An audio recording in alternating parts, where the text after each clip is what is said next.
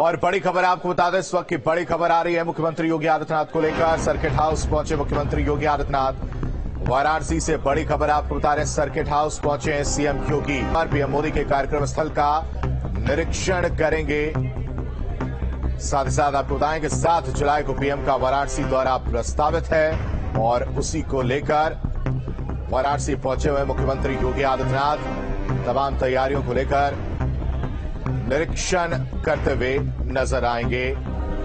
कार्यक्रम स्थल पर तैयारियों को लेकर जानकारी, तमाम दिशा निर्देश जो है, वो देते हुए नज़र आएँगे। सर्किट हाउस की तस्वीर आप देख रहे हैं, वाराणसी से ये बड़ी खबर आपको उतारें। सर्किट हाउस पहुँचे मुख्यमंत्री योगी आदित्यनाथ। सुशांत इस पर ज़्यादा जानकारी के साथ हमारे साथ जुड़े हैं। सुशांत, क्या कुछ अपडेट? मुख्यमंत्री वाराणसी पहुँच चुके हैं। सर्किट हाउस की तस्वीर मैं देख पा रहा हूँ। क्या कुछ आज का उनका कार्यक्रम क्योंकि सात जुलाई को प्रधानमंत्री नरेंद्र मोदी आ सकते हैं।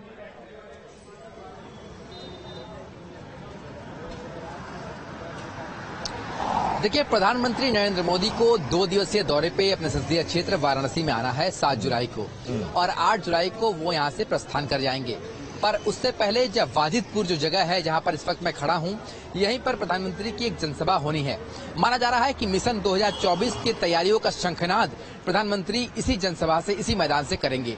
और जहाँ पर जनसभा होनी है, वहाँ पर कुछ देर पहले मुख्यमंत्री योगी आदित्यनाथ पहुँचे थे और उन्होंने अधिकारियों से और संगठन के कार्यकर्ताओं से, पदाधिकारियों से जानकारी ली कि किस तरीके से जनसभा की यहाँ पर तैयारी की गई है। ये भी बताया गया है कि पचास हज़ार लोगों की वहाँ पर आने की व्यवस्था की गई है। यानी कि इस जनसभा को जो प्रधानमंत्री संबोधित करेंगे और लगभग तीन हज़ार करोड़ का जो तोहफा शिलान्यास और लोकार्पण के रूप में वाराणसी को देंगे, उसी जनसभा स्थल से तो वहाँ पर पचास हज़ार लोगों की आने की व्यवस्था की गई है।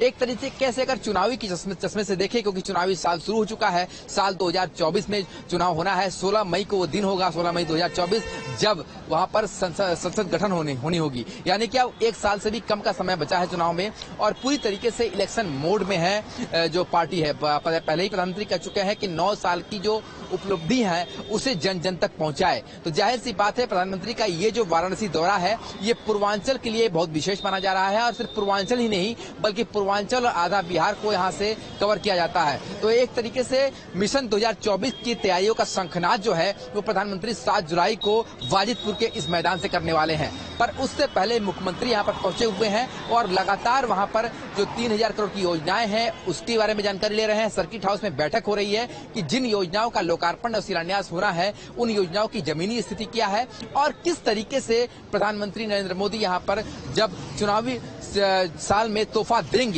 तो वो किस तरीके से जमीनी हकीकत पे आम पार्टी को भी फ़ायदा पहुंचाएगा इन सारी चीज़ों को लेकर के पार्टी के पदाधिकारी भी रहेंगे जो उस विभाग के जो अधिकारी हैं जोनल है वो भी रहेंगे नोडल अधिकारी भी रहेंगे और वाराणसी के कमिश्नर और जिला मजिस्ट्रेट भी रहेंगे साथ ही लॉ एंड ऑर्डर पर भी चर्चा होगी। सावन का महीना है तो ज़ाहिर सी बात है सावन के महीने में भारी भरकम यहाँ पर ठीक है तमाम जानकारी के लिए आपका बेहद शुक्रिया।